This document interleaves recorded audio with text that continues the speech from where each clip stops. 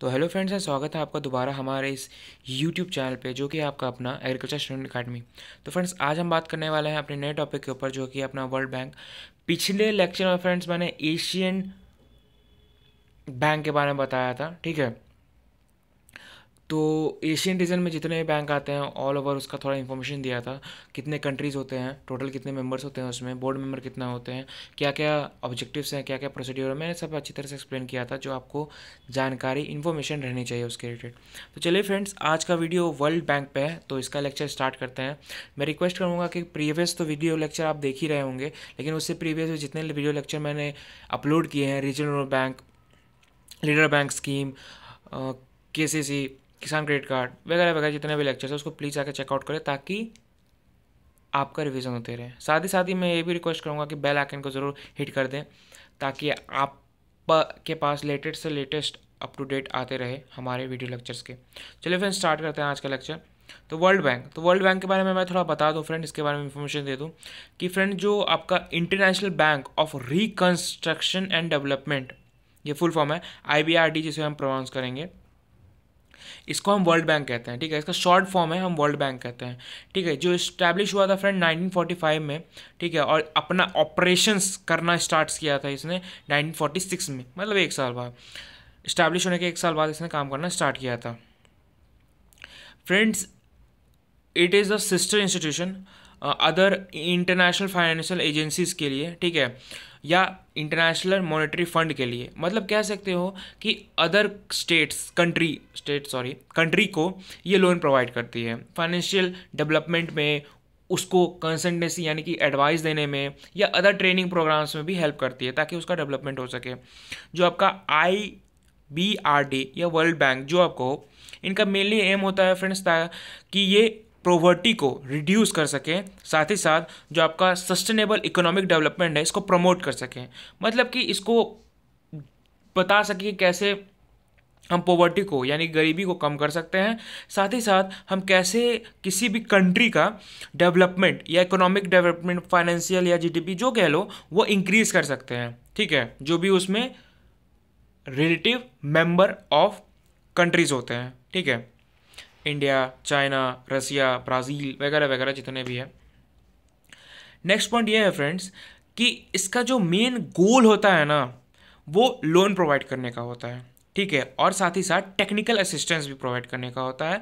किसी भी प्रोजेक्ट या प्रोग्राम जो developing country of the member से रिलेटेड हो मतलब कि इनका मेन मुद्दा होता है फ्रेंड्स लोन प्रोवाइड करना या टेक्निकल असिस्टेंस यानी कि आप कैसे कैसे अपने कंट्री में क्या कारणों से या फिर कौन कौन से ऐसे रीजन्स है या फिर कह सकते हो कि जहाँ पे आप पैसे इन्वेस्ट कर सकते हो। वो एक कंट्री को बताती है टूरिज़्म डेवलपमेंट कंस्ट्रक्शन वगैरह वगैरह इस, ये सब टेक्निकल असिस्टेंस में आते हैं आपके। और प्रोवाइडिंग लोन तो आप जानते ही हैं। वो कोई भी हो सकता है फ्रेंड्स किसी प्रोजेक्ट के लिए हो सकता है, किसी पर्टिकुलर प्रोग्राम के लिए हो सकता है। उस डेवलपिंग मेंबर कंट्री के लिए। मतलब कि जो भी मेंबर वहाँ पे है, जो कंट्री को रिप्रेजेंट कर रहा है, उस डाय कह सकते हो आप बोर्ड में या डायरेक्टर जो कह सकते हो मीटिंग में, जो अपना रिप्रेजेंटेटिव होते हैं, हम ऑब्वियस अब आते हैं हमारे प्राइम मिनिस्टर वो वहाँ पे भाग लेने जाते हैं, उनको पूरा एडवाइस दिया जाता है कि कैसे वो डेवलप कर सकते हैं। ठीक है टेक्निकल असिस्टेंस कह सकते हो, जो उनको प्रोवाइड किया जाता है। आते हैं फ्रेंड नेक्स्ट पॉइंट पे, जो फ्रेंड फाइनेंशियल स्ट्रेंथ है आई बी आर डी का, वो जनरली बेस्ड है फ्रेंड्स जो भी सपोर्ट कह सकते हो, ताकत, क्षमता, जो भी उसको मिलती है, उनके शेयर होल्डर से या फाइनेंशियल पॉलिसीज़ से, जो कि प्रैक्टिस किए जाते हैं या अडॉप्ट किए जाते हैं वर्ल्ड बैंक द्वारा। ठीक है? IBRD या वर्ल्ड बैंक एक ही होता है, जैसा आप जानते हैं, मैंने बताया था ऊपर। तो इसमें साफ़ साफ़ यही कहा है फ्रेंड फ़र्स्ट लाइन में, कि जो आपका फाइनेंशियल स्ट्रेंथ होता है ना IBRD का, वो इसी पे बेस्ड होता है कि देखिए जितने भी कंट्रीज़ हैं, वो सब कुछ ना कुछ पैसा कंट्रीब्यूट करते हैं वर्ल्ड बैंक को, ठीक है?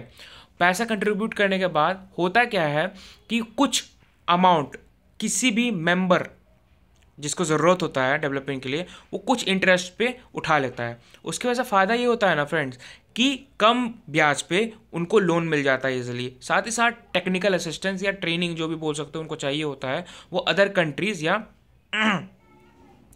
उस वर्ल्ड बैंक द्वारा के कोऑर्डिनेशन से मिल जाता है उनको। इसी में सेकंड पॉइंट ये लिखा है फ्रेंड्स जो इनका मेन एक्टिविटी होता है वर्ल्ड बैंक का, वो जनरली से लोन प्रोवाइड करना होता है। मेन ऑब्जेक्टिव लोन प्रोवाइड करना होता है। टेक्निकल असिस्टेंस तो बाद में क्योंकि वो फ्री फोकट का दिया जाता है हर कंट्री को। या कह सकते हो मेंबर्स ऑफ़ रिस्पेक्टिव कंट्रीज़ को। ओके नेक्स्ट पॉइंट पे आते हैं। फ्रेंड्स इसमें टोटल 189 मेंबर्स होते हैं। मतलब 189 कंट्रीज़ के मेंबर होते हैं, ठीक है? जिसमें स्टाफ जो है, वो 170 कंट्रीज़ से ज़्यादा होते हैं। मतलब कह सकते हो, अगर 170 कंट्रीज़ हैं तो 170 स्टाफ नहीं होगा, उससे दो गुना या तीन गुना भी हो सकता है। और जो भी ऑफ़िस होते हैं, वो कम से कम 130 लोकेशंस में है all over the globe 130 locations पे है। ठीक है? ये जो हमारा फ्रेंड्स वर्ल्ड ब्लैंक ग्रुप है, ठीक है? ये बहुत ही यूनिक होता है ग्लोबल पार्टनरशिप में, क्योंकि इसमें टोटल फाइव इंस्टीट्यूट्स एक साथ मिलकर काम करते हैं। वो आपका आई बी आर डी है आई डी ए है आई एफ़ सी है M I G A I C S I D है, ठीक है? जो एक साथ मिलकर कुछ सस्टेनेबल सोल्यूशन यानी कि ना ही ज़्यादा ख़राब, ना ही ज़्यादा अच्छा एक बैलेंस वे में सोल्यूशन निकालने का कोशिश करते हैं, ठीक है? जिसकी वजह से पोवर्टी और बिल्डिंग शेयर प्रोस्पेक्टिव के नज़रिए से जो भी कंट्रीज़ है, उसको डेवलप किया जा सके, ठीक है? तो मेन बात जैसे मैं बताया कि गरीबी को ख़त्म करना और कंट्री को ज़्यादा से ज़्यादा डेवलप करना। ठीक है? वो किसी भी मेथड में हो सकता है, किसी भी स्ट्रीम में हो सकता है। तो नेक्स्ट फ्रेंड्स आते हैं इसके फ़ंक्शंस पे कि फ़ंक्शंस क्या होते हैं वर्ल्ड बैंक के। टोटल चार फ़ंक्शन मैंने बताया है, जिसमें से पहला है friends development activities development activities में क्या होता है फ्रेंड्स फ़ंक्शन इसका ये है कि ये लोन प्रोवाइड करता है। डिफ रिस्पेक्टिव मेंबर्स को रिस्पेक्टिव कंट्रीज़ के। ठीक है? जिसकी वजह से क्या होता है कि जो भी डेवलपमेंट डेवलपमेंट नीड्स होते हैं फुलफ़िल करने के लिए, वो कंट्रीज़ फुलफ़िल कर सकती है। जैसे मान लीजिए लोन लेने से अगर किसी कंट्री का कंस्ट्रक्शन या कह सकते हो उनका स्ट्रक्चर डेवलप हो रहा है उस पर्टिकुलर कंट्री का तो अच्छी बात है ना? साथ ही साथ फ्रेंड्स वो टेक्निकल असिस्टेंस भी प्रोवाइड करता है। जैसा मैंने ऊपर के पॉइंट्स में बताया था और कुछ अदर सर्विसेज़ भी प्रोवाइड किया जाता है उन मेंबर्स ऑफ़ द कंट्री के, ठीक है? ताकि गरीबी को हटाया जा सके। इनका मेन मोटिव होता है फ्रेंड्स गरीबी हटाना, ठीक है?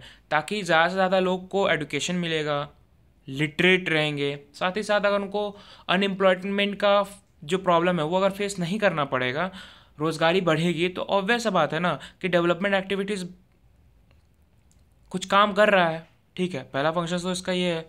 सेकेंड पॉइंट ये है फ्रेंड्स प्रोवाइडिंग लोन साफ़ साफ़ जैसा वर्ड से आप समझ पा रहे हैं लोन प्रोवाइड करना किसी भी I R D's executive director के सहमति से या वर्ल्ड बैंक के सहमति से। और वैसे बात है, देखिए, आप समझिए कि जितने भी हमारे मेंबर्स होते हैं, वो पहले डिसाइड करते हैं, क्योंकि पैसा उनका भी लगा हुआ है इक्वली जो कंट्रीब्यूट करते हैं वर्ल्ड बैंक को। जो सबसे ज़्यादा कंट्रीब्यूट करता है, कह सकते हैं उनका दबदबा जाता है। ठीक है, उनका पावर ज़्यादा है उस मीटिंग में।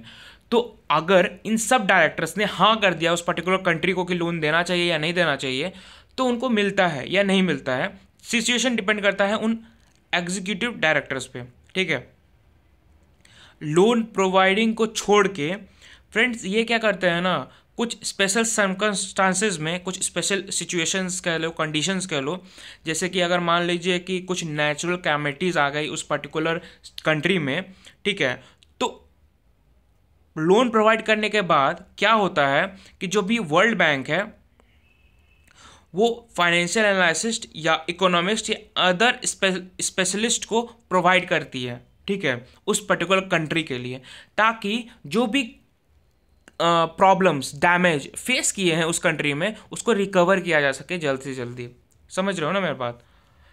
मतलब कि ये सिर्फ़ लोन प्रोवाइड नहीं करती है। अगर कोई नेचुरल कैलमिटीज आ जाती है जैसे बाढ़ आ गया, ठीक है, बारिश ज़्यादा हो गई, ठीक है अर्थक्विक आ गया, ठीक है, वैसे कुछ नेचुरल डिजास्टर्स होते हैं, ठीक है तो उसको फिलफिल करने के लिए फाइनेंशियल एनालिस्ट या इकोनॉमिस्ट या अदर स्पेशलिस्ट को भेजती है। सब कोई कंट्रीब्यूट करता है इसमें।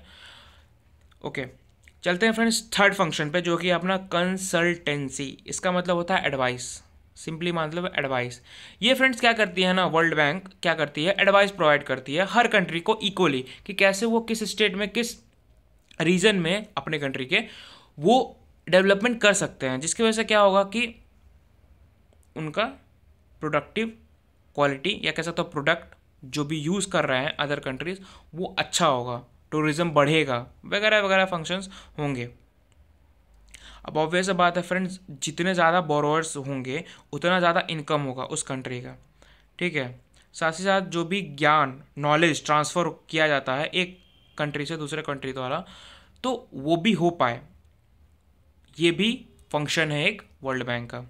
थर्ड फोर्थ पॉइंट पे आते हैं फ्रेंड रिसर्च एंड ट्रेनिंग जो भी फ्रेंड रिसर्च या कह सकते हो ट्रेनिंग किसी भी respective member of the country के द्वारा किया जाता है तो वर्ल्ड बैंक दूसरे कंट्रीज़ को भी ऑफ़र करती है।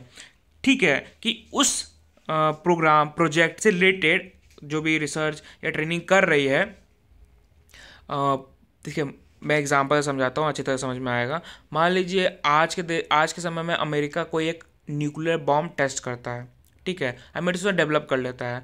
तो अब वो जो भी नॉलेज है ना, या ट्रेनिंग है, जो अमेरिका के पास है, वो चाहे तो और कंट्री से साझा कर सकता है, ठीक है? डिपेंड अपॉन उसका बाकी कंट्री से ताल्लुकात, रिश्ते कैसे हैं, ठीक है? तो एक तरह से कह सकते हो कि वर्ल्ड बैंक इसमें हेल्प करता है।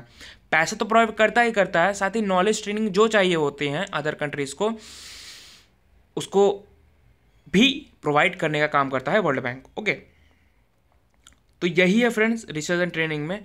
आज तक के लिए इतना ही। अगर आपको ये वीडियो अच्छा लगा तो प्लीज़ लाइक का बटन हिट कर दिए। साथ ही साथ कमेंट बॉक्स में ज़रूर लिखें कि आपको ये वीडियो लेक्चर कैसा लगा। और नोट्स के लिए टेलीग्राम ग्रुप है तो मैं आज का क्लास यहीं एंड अप करता हूँ। मिलते हैं अपने नेक्स्ट लेक्चर वीडियो में। तब तक के लिए सी टाटा बाय बाय